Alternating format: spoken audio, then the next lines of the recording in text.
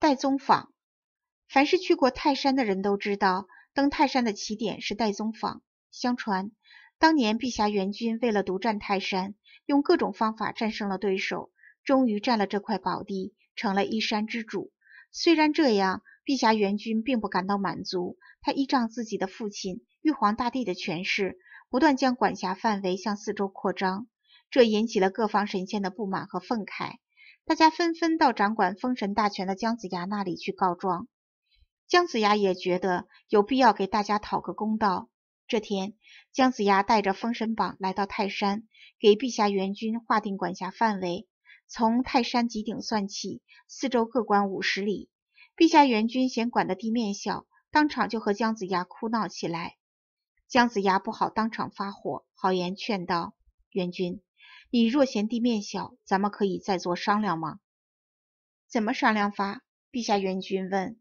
姜子牙成竹在胸，不慌不忙地说：“你可找件东西来，往山下扔。东西落到哪里，你就管到哪里。你看行不行？”陛下元君心想，就凭我的本领和力气，扔个百八十里没有问题，便答应说：“好，就这样。不过咱可要说话算数，谁也不许抵赖呀。”一言为定，绝不反悔。姜子牙一本正经，十分认真地说。陛下，元君弓腰捡起块碗口大的石块，抬手就要往下扔。姜子牙急忙拦住，说：“慢，石头遍地都是，你把它扔下山去，怎么找得到？就算找到了，别的神仙们不承认也不好办呢。依我看，你还是扔件别人都没有的东西最好。”陛下，元君听了也觉得这话有理，但一时又找不到合适的东西，喃喃自语道：“那我扔什么东西好呢？”姜子牙慢吞吞地提示道。依我看，你穿的这绣花鞋别人都没有，就扔它吧。这样既好找，别人也不敢不认账。碧霞元君听了，心中高兴。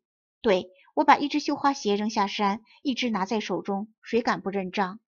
于是便脱下一只绣鞋，用尽全身力气朝山下扔去。随后，姜子牙和碧霞元君一起来到现在岱宗坊这个地方，找到了扔下的那只绣鞋。只见那只绣鞋鞋头朝下插在地上，形似一座小小的坊门。他们一算里程，从这地方到极顶只不过二十来里。这时，陛下元君知道中了姜子牙的计，但又不好反悔，只好默认了。后来，人们便在这里建起了一座坊门，取名岱宗坊，成了登泰山的起点。